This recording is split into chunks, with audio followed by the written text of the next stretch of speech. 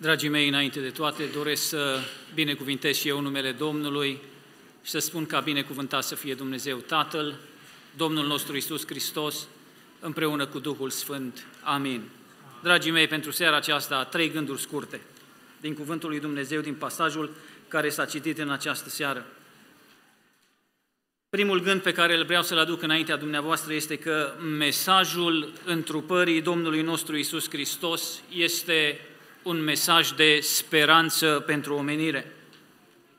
Erau în, erau în câmpia Betleemului, erau acolo niște păstori și dintr-o dată un înger, și citesc din cuvântul lui Dumnezeu care spune așa, Iată că un înger al Domnului s-a înfățișat înaintea lor și slava Domnului a strălucit în prejurul lor. Ei s-au înfricoșat foarte tare, dar îngerul le-a zis, nu vă temeți, căci vă aduc o veste bună care va fi o mare bucurie pentru tot norodul. Un mesaj de speranță pentru omenire. Dacă ne-am oprit doar în dreptul întrupării, întrupării Domnului nostru Isus Hristos, mesajul acesta ar fi un mesaj incomplet. Însă ori de câte ori vorbim despre întruparea Domnului Isus Hristos, trebuie să facem referire și la moartea și învierea Domnului nostru Isus Hristos. Spunea îngerul căci mesajul acesta va fi o mare bucurie pentru tot norodul. Nu este o mare bucurie, ci va fi, pentru că făcea aluzie la ceea ce Domnul Isus Hristos făcea prin moartea și prin învierea Lui. Este un mesaj de speranță pentru omenire, pentru că omenirea aceasta trebuia să fie răscumpărată din păcatul adamic. Fiecare om care s-a născut pe pământul acesta a căzut sub incidența acestui păcat și trebuia ca omenirea întreagă să fie răscumpărată. De aceea Dumnezeu a făcut un plan și planul lui Dumnezeu a fost perfect. L-a trimis în lumea aceasta pe Fiul Său, pe Domnul Isus Hristos, l-a întrupat, l-a pus într-un trup asemănător cu al nostru, iar după o vreme, Domnul Isus Hristos a adus jertfa supremă, murind pentru păcatele noastre și pentru fără de legile noastre, împăcând omenirea cu Tatăl, cu Dumnezeu, binecuvântat să fie numele Domnului. De aceea este mesajul acesta un mesaj de speranță, pentru că Domnul Isus Hristos, prin întruparea Lui, a adus oamenilor viață, binecuvântat să fie numele Domnului, a adus speranță. Dragii mei, Dumnezeu a avut pentru noi, pentru oameni, a avut un plan. Însă, cine a mai avut planuri, a avut și cel rău plan și dacă vrei, te rog să afișezi uh, Matei 1 Ioan, capitolul 3, cu versetul 8, vorbește despre un alt lucru pe care Fiul lui Dumnezeu l-a făcut. Și zice așa a doua parte a versetului că Fiul lui Dumnezeu s-a arătat ca să nimicească lucrările diavolului. Un mesaj de speranță pentru omenirea aceasta, pentru că, în primul rând, Domnul Isus a refăcut această legătură între om și Dumnezeu, și în al doilea rând, un mesaj de speranță pentru că Domnul Isus Hristos a arătat ca să nimicească lucrările diavolului. Și dacă vrei, te rog, Matei, din nou să afișezi Evrei, capitolul 2, de la versetul 14 și 15, și spune așa, Astfel, dar, deoarece copiii sunt părtași sângelui și cărnii, tot așa și el însuși a fost deopotrivă părtaș la ele, întruparea Domnului Isus Hristos, pentru ca prin moarte să nimicească pe cel ce are puterea morții, adică pe diavolul, te rog versetul 15, și să izbăvească pe toți aceia care prin frica morții erau supuși robiei toată viața lor. Domnul Isus Hristos a adus speranță pentru omenire, a adus speranță în lumea aceasta, nimicind lucrările diavolului și dacă noi în seara aceasta stăm în casa lui Dumnezeu în pace, în seara aceasta stăm în casa lui Dumnezeu în liniște, pentru că noi nu mai suntem supuși acestei frici, acestei robii a morții, este pentru că Domnul nostru Isus Hristos s-a întrupat, a venit pe pământul acesta a adus salvare și ne-a scos de sub robia aceasta a păcatului. Binecuvântat să fie numele Domnului. Dragii mei, suntem în locul acesta pentru că Domnul Isus Hristos a avut milă de noi și a avut milă în dreptul fiecăruia dintre noi, lăudat să fie numele Domnului. Poate că sunt oameni care se mai luptă cu frica aceasta, Însă ceea ce vreau să vă spun în această seară, Domnul Isus Hristos, prin întruparea Lui și mai târziu pe crucea Golgotei, a învins puterea celui rău, frica aceasta de moarte. Și în noi, în copiii lui Dumnezeu, nu mai trebuie să fie niciun fel de frică. De ce? Pentru că pentru noi, Domnul Isus Hristos a biruit, lăuda să fie numele Domnului. Poate că se întâmplă de multe ori să se vină la fiecare câte un gând și să spună, poate vei păți ceva rău. Poate vine câte un gând din partea celui rău și vei spune, nu vei mai scăpa, vei muri. Vreau să spun în seara aceasta că frica morții, Domnul Isus Hristos a luat-o asupra Lui și acolo pe calvar și noi suntem în seara aceasta liberi de orice frică. Noi avem nădejdea vieții veșnice, binecuvântat să fie numele Domnului. Prin El, prin Domnul nostru Isus Hristos, slăvit să fie numele Lui. Dragii mei, mă duc mai departe, timpul este înaintat. Un al doilea gând pe care l-am în această seară este că mesajul acesta al întrupării a Domnului nostru Isus Hristos este și un mesaj de avertizare.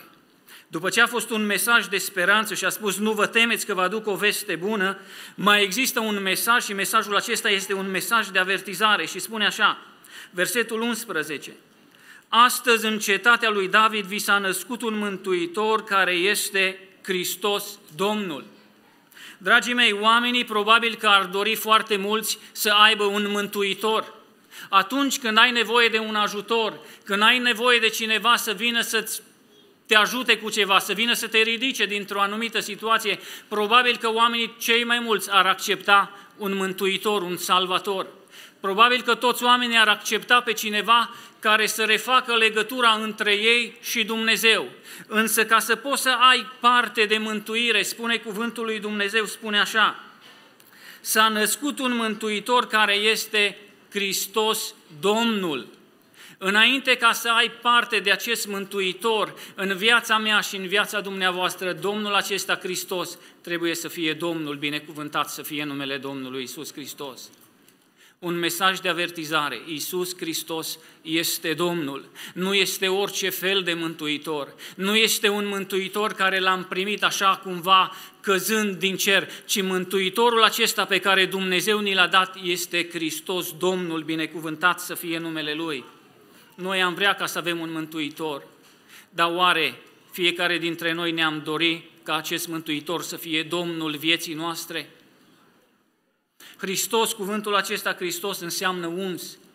Hristos a fost uns de Dumnezeu, a fost uns ca să fie proroc, a fost uns ca să fie mare preot, să aducă jerfă și a fost uns ca să fie împărat, ca să domnească ca împărat în împărăția lui Dumnezeu, binecuvântat să fie numele Lui, slăvit să fie numele Domnului. Dragii mei, Iisus Hristos este lumina lumii. El a venit în lume ca să aducă lumină. Însă spune cuvântul Domnului, spune Ioan, că odată venită lumina în lume, oamenii au iubit mai mult întunericul decât lumina pentru că faptele lor erau rele. Dumnezeu să ne dea putere la fiecare să iubim mai mult lumina decât întunericul. Acest Domn care este Hristos, El este lumină. Dacă vrem să avem parte de El ca Domn și Mântuitor, viața mea și viața dumneavoastră trebuie să fie o viață trăită în lumină, binecuvântat să fie numele Domnului. Domnul acesta, Hristos, dragii mei, oamenii se uită la El ca și la un prunc. Un prunc care este lipsit de putere, însă cuvântul lui Dumnezeu nu ne lasă niciodată în ceață. Apostolul Ioan era pe insula Patmos și acolo, în insula Patmos, îi se revelează Iisus Hristos Domnul. Spune cuvântul, vreau să dau citire din Apocalipsa, spune cuvântul în felul următor. În ziua Domnului eram în Duhul și am auzit înapoi a mea un glas puternic ca sunetul unei trâmbițe, care zicea, eu sunt Alfa și Omega, cel din tâi și cel de pe urmă. Ce vezi scrie într-o carte și trimite-o celor șapte biserici la Efes, Mirna, Pergam, Tiatira, Sardes, Filadelfia și Laodicea. M-am întors să văd glasul care îmi vorbea și când m-am întors am văzut șapte sfeșnice de aur și în mijlocul celor șapte sfeșnice pe cineva care semăna cu fiul omului, îmbrăcat cu o haină lungă până la picioare și încins la piept cu un brâu de aur. Capul și părul lui erau albe ca lâna albă, ca zăpada, ochii lui erau ca para focului, picioarele lui erau ca arama aprinsă și arsă într-un cuptor și glasul lui era ca vuietul unor ape mari. În mâna dreaptă ținea șapte stele, din gura lui ieșea o sabie ascuțită cu două tăișuri și în fața lui și fața lui era ca soarele când strălucește în toată puterea lui. Și continuă Ioan și spune, când l-am văzut, am căzut la picioarele lui ca și mort. Dragii mei, când Isus Hristos este Domnul, aceasta este imaginea pe care trebuie să o avem fiecare dintre noi. S-au dus acolo, s-au dus păstorii ca să vadă în iesle aceea au văzut un prunc și probabil că în inima lor a fost bucurie pentru că au văzut un prunc. Însă atunci, în momentul în care Iisus Hristos este Domnul, spune Ioan că a căzut la picioarele Lui ca și mort. Dragii mei, acest Iisus care s-a întrupat într-o iesle, s-a născut într-o iesle și s-a întrupat într-un trup ca și al nostru. Acest Iisus va fi într-o zi judecătorul tuturor faptelor noastre făcute la întuneric, fie bune, fie rele. De aceea fiecare dintre noi, dragii mei, trebuie să luăm bine seama și să ne gândim dacă avem nevoie de un mântuitor, trebuie să ne gândim că mântuitorul acesta trebuie să fie Domnul vieții noastre. Și Domnul vieții noastre, Iisus Hristos, este un Domn care este plin de putere. Oamenii venerează un prunc, un prunc care nu are absolut nicio putere. Însă Domnul Iisus Hristos spunea, toată puterea mi-a fost dată în cer și pe pământ, binecuvântat să fie numele Domnului. Ca să-L vrei ca, ca și mântuitor pe Domnul Iisus Hristos, trebuie în primul rând să fie Domnul vieții noastre, binecuvântat să fie numele Lui. Dragii mei, mă duc mai departe. Al treilea gând din această seară, mesajul acesta al întrupării Domnului nostru Iisus Hristos este un mesaj adevărat care merită să fie crezut. Probabil că mulți sunt sceptici și prin uh, rațiunea noastră umană limitată nu putem înțelege cum Dumnezeul adevărat, Dumnezeul care este de necuprins, a venit într-o lume materială, a venit într-o lume în care era condusă de păcat, Însă cuvântul Domnului spune așa, vorbește despre oamenii aceștia, despre păstori. Îmi place foarte mult că oamenii aceștia nu s-au mulțumit doar cu vedenia aceea, cu arătarea pe care a avut-o îngerul și a spus, haidem să mergem până la Betleem și să vedem ce ni s-a spus și cine ne-a făcut de cunoscut Domnul ori de câte ori se întâmplă ca să avem vreo revelație, ori de câte ori se întâmplă să avem vreo descoperire, întotdeauna este bine ca descoperirea aceea să fie cercetată. Și cum o putem cerceta descoperirea decât în prisma cuvântului lui Dumnezeu? S-au dus oamenii să cerceteze și au cercetat și ce spune mai departe, versetul 20. Și păstorii s-au întors slăvind și lăudând pe Dumnezeu pentru toate cele ce auziseră și văzuseră și care erau în tocmai cum li se spusese. Nu au fost 80% adevăr și 20% să se lase loc de interpretare. În momentul în care Dumnezeu vorbește, ceea ce vorbește Dumnezeu este 100%, este adevărat, este drept și este corect.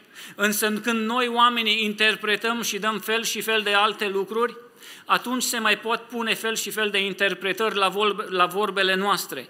Însă în momentul în care Dumnezeu vorbește, nu mai este loc de interpretare. Tot ceea ce îngerul a spus a fost în tocmai cum li s-a spus. De aceea mesajul acesta al întrupării Domnului nostru Isus Hristos este un mesaj pe care trebuie să-l credem. Este vrednic de crezare, este adevărat. Este un mesaj de speranță pentru noi, pentru omenire, întruparea Domnului. Trebuie să ne bucurăm pentru aceasta, însă trebuie să avem în noi frică, reverență, pentru că Mântuitorul nostru este Domnul, binecuvântat să fie numele Lui. Mă opresc la aceste cuvinte, vă doresc sărbători binecuvântate. Amin.